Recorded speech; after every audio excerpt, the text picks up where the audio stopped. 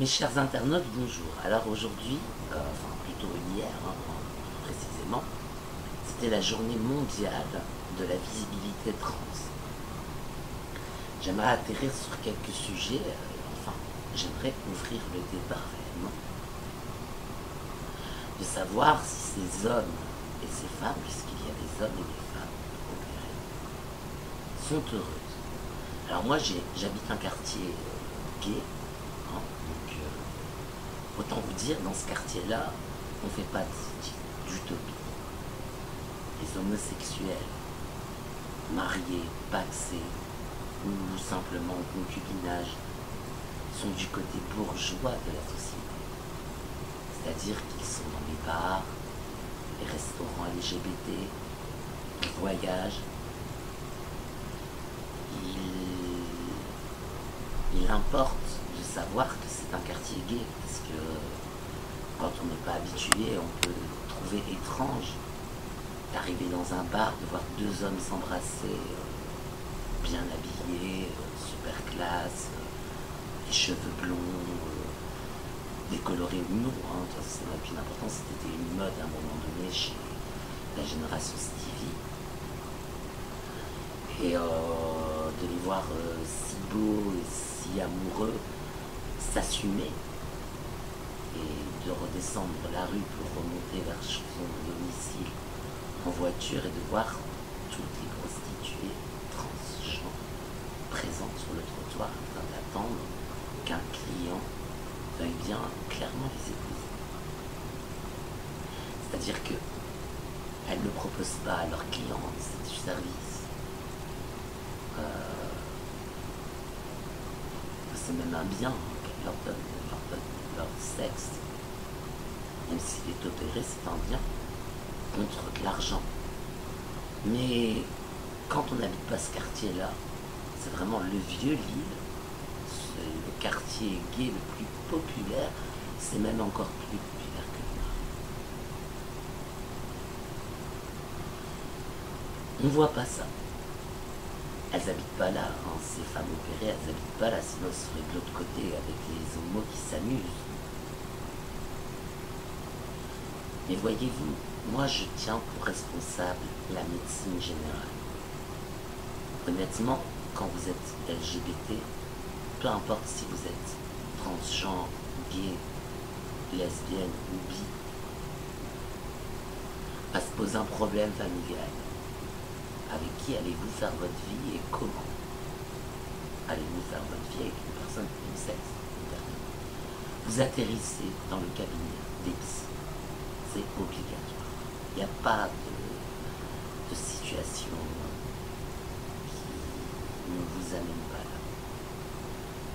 Tout le monde ressentira un sentiment homophobe vis-à-vis de vous et on dira que c'est votre faute.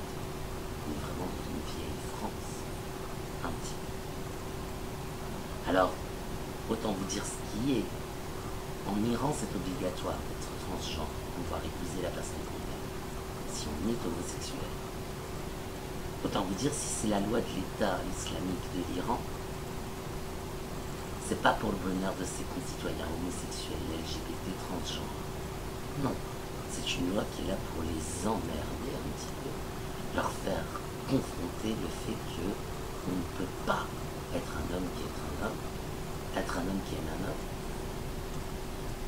On doit être une femme qui est un homme ou un homme qui est une femme, peu importe, hétérosexualiser des rapports gays qui sont normaux. Il y a toujours eu des homosexuels, ce n'est pas la fin du monde, c'est la fin des homos. Parce qu'ils proposent ça à tous les adolescents qui se cherchent, en leur convainquant que la société les acceptera mieux, en leur proposant un suivi suite à l'opération et parce que prendre des hormones pour modifier votre organisme avant d'effectuer l'opération. Et ça me dégoûte. c'est par mon sentiment de tolérance que je suis dégoûté. Parce que vous arrivez au vieux Lille, vous voyez des choses. Je vous conseille de visiter ce quartier. Si vous êtes gay, si vous ne savez pas si vous êtes du bon genre, C'est-à-dire, euh, si vous êtes bien dans votre peau en tant que. avec votre sexe de naissance, ou si vous avez besoin de vous transformer pour vous assumer mieux. Parce qu'on a des cas de personnes qui vraiment se sentent femmes dans un corps d'homme ou se sentent hommes dans un corps de femme. On a des cas, ça existe, mais c'est très très rare.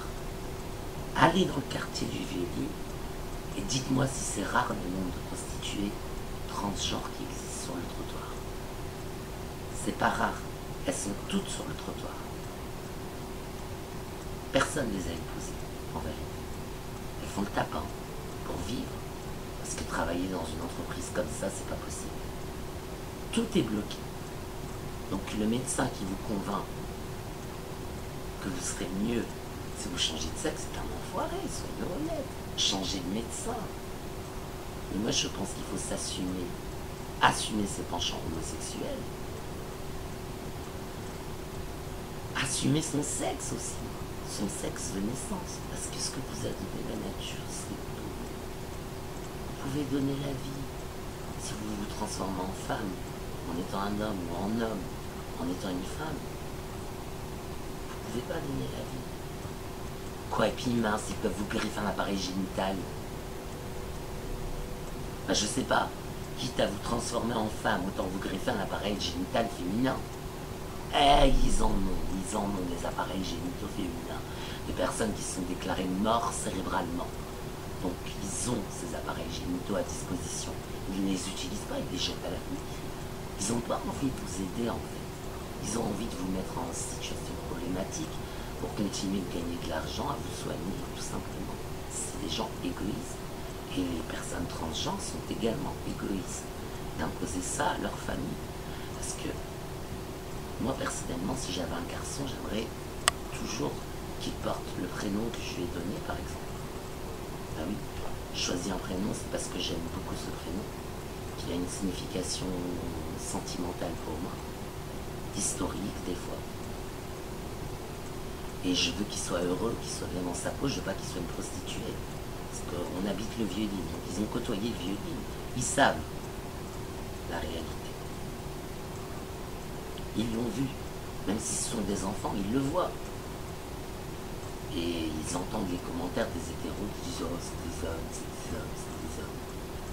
Voilà. Donc ils savent que on est obligé de leur expliquer pourquoi c'est des hommes à la liche de l'eau, la dame. Je dis, c'est une dame qui s'est transformée en femme. On lui a dit je suis obligé d'expliquer à mes enfants la vérité. On lui a dit que si elle se transforme en femme, on l'accepterait. Et finalement, on ne l'accepte pas, donc elle, fait, elle travaille elle demande, euh, elle donne de l'amour aux hommes contre de l'argent. Je suis obligé d'expliquer à mes enfants. Ça a été expliqué. C'est à un enfant que êtes obligé de dire la vérité. Vous ne pouvez pas dire euh, Ah, elles sont heureuses. Ah ouais, elles sont heureuses. Alors que ma mère, qui est homophobe, hein, elle ressent du déni, du dégoût vis-à-vis de ces femmes-là. Moi, je ressens pas de déni, de dégoût, juste de la tristesse quand je vois des femmes la tristesse de croire que moi je vais m'intéresser à elle, par exemple. J'en ressens de la tristesse. Jamais je m'intéresserai à une femme comme ça. Je prendre une vraie femme. Au moins, elle peut vous donner la. Ben, je pense que tous les hommes pensent comme moi. Allez, il y a des gens qui vont être horribles, qui vont prendre une prostituée au hasard, vraiment au hasard, voir une transgenre parce que c'est moins cher. C'est tout, c'est moins cher une transgenre qu'une femme blanche. Pas transgenre. De la même manière que c'est moins cher une femme noire. Et ben voilà, et ben c'est. C'est malheureux, c'est tout ce que j'ai à dire pour cette journée de la visibilité trans. J'ai envie de dire bravo à la médecine générale d'avoir fait euh, de telles horreurs sur des homosexuels qui étaient simplement adolescents et qui se cherchaient, et les avoir transformés à l'adolescence alors qu'ils n'ont même pas la, majorité de philosophique, enfin je veux dire ils n'ont pas l'âge de philosophie, on leur fait gober des histoires hallucinantes, ils sont innocents, ils sont naïfs, ils sont minables, et on les transforme. Et ceux qui le font à l'âge adulte, c'est parce qu'on leur propose, une fois qu'ils sont chez le psy, parce qu'ils ont des tendances homosexuelles, de se transformer, c'est tout. C'est ce témoignage que je venais au nom de Jésus-Christ. Et je prie pour ces femmes-là, qu'elles soient heureuses, et ces hommes-là, qu'ils soient heureux.